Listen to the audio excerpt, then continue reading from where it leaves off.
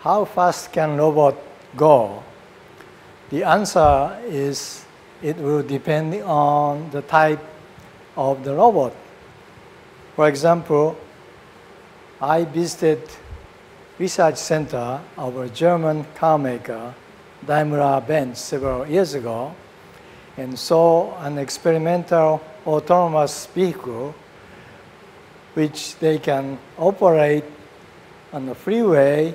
It runs around 60 miles per hour.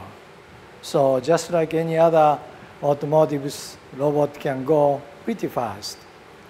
Now, UAVs, unmanned aerial vehicles, can fly to 300 miles per hour. Although typical UAVs such as Predators will fly not that fast so that it can detect hostile object on the ground.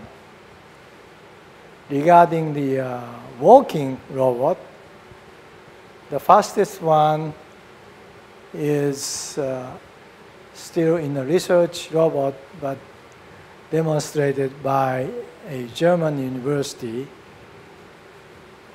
It can walk around 10 feet per second.